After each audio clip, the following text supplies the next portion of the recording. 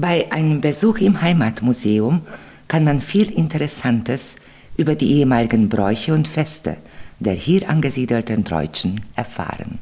Eigentlich, wie sich die Menschen hier angesiedelt haben, in 1740, dann haben sie sich mit Glasbläserei beschäftigt. Hier kann man sehen, haben wir auch Glas, unser Name als Obeiner. Das haben wir von der Glasbläserei verstanden, von der Glashütte. Das Glasbläserei, das ist äh, 50 Jahre haben sie das gemacht. Und dann war kein Holz mehr, weil es der Wald abgestoppt. Und dann haben sie mit der Töpfnerei angefangen. Und von Glas, von der äh, Glasbläserei ist nichts mehr da. Aber für ca. 10, 15 Jahre haben wir das wieder auferneuert, dass jedes Jahr auf unserem Dorffest dann kommt ein, ein Wanderer mit einem Wanderofen und dann tun sie Einzeichen, wie man das Glas macht.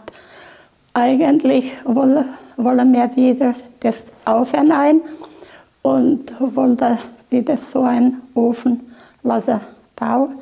Zur Verwirklichung des neuen Glashütterprojektes wurde schon die Bewerbung eingereicht. Nach dem Muster der Glashütte von Bustabagno möchte man eine kleinere Glashütte aufbauen, um den Interessenten die Geschichte der hiesigen Glasbläserei vor Ort zeigen zu können. Auch der Faschingskrapfen von Altglashütte gilt als Besonderheit. Jetzt ist Fasching, jetzt backen wir Faschingskrapfen.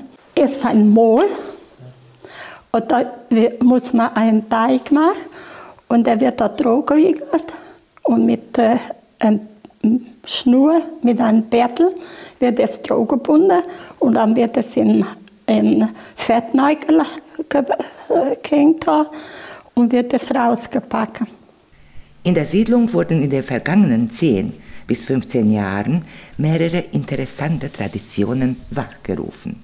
Eine der spektakulärsten ist der Hutzelsonntag, das Rollen eines Feuerrades. Hutzel steht für Dörrobst und man hält so, wo das Rad runterrollt, kann man reiche Ernte erwarten. Der Hutzelsonntag, der ist immer der erste Fastensonntag und der ist jetzt am 6. März. Dann, ich weiß nicht, ob man kann, äh, weil der, den Virus da aber es ist ja im Freien und dann wollen wir das wieder machen.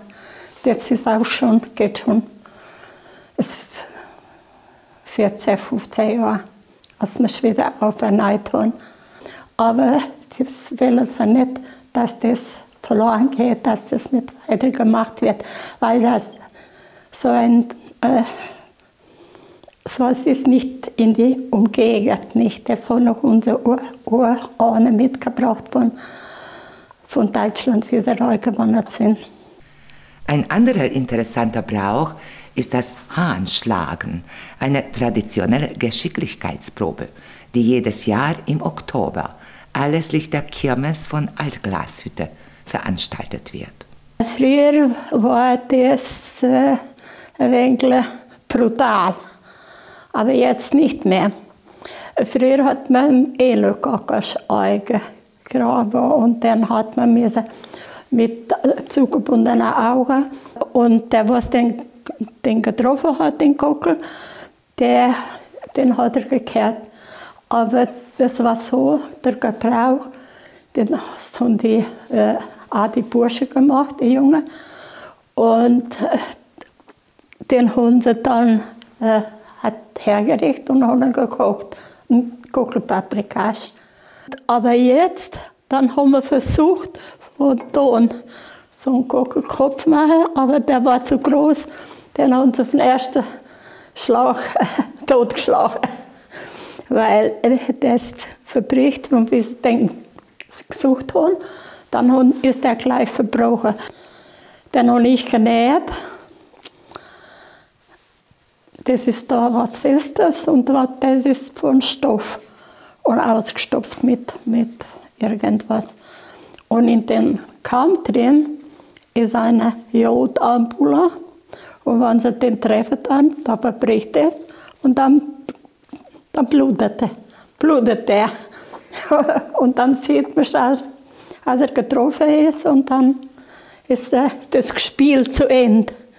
Die älteren Einwohner des Dorfes hoffen, dass die Kinder und Jugendlichen die Traditionen der Ahnen genauso engagiert wie sie weiterbringen werden.